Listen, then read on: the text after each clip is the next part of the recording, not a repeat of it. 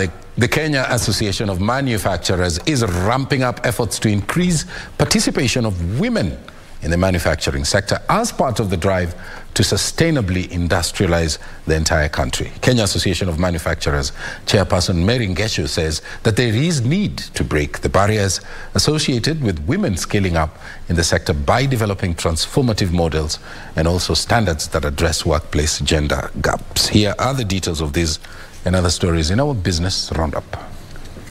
A lack of technical knowledge and expertise have resulted in most women taking up low cadre, low skill jobs, which translates to low earnings and poor career advancement.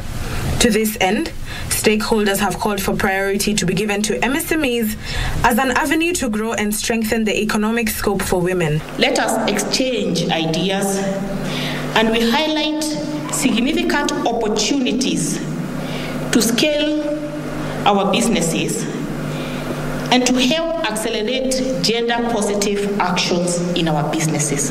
It is possible to build a million MSME companies owned by women to produce silk and other fabrics. Meanwhile, Micro, small, and medium sized enterprises need to explore new markets and expand their value chains to survive the tough economic times. Stanbic Bank Executive Director Pauline Bayer says initiatives such as capacity building and well thought expansion plans will help businesses easily access affordable finance and attract investors. If you start a business, you're in it for the long haul, you should not give up.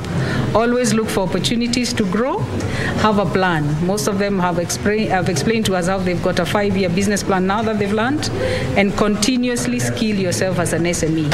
And finally, WPP Scangroup has bounced back to profitability, recording a full year net profit of 75 million shillings, up 298% from a loss of 38 million shillings registered in 2021. WPP Chief Executive Officer Patricia Ithau says the firm recorded a 2.2 billion shillings gross profit and earnings per share growth of 450%. With feed, yeah? We have had a 35% year on year growth on the revenues we've achieved on that. It is our number one product now. However, our PBT was positive 376 million, a growth of 180%, uh, driven by FX gains. Dutamokami for Prime Edition.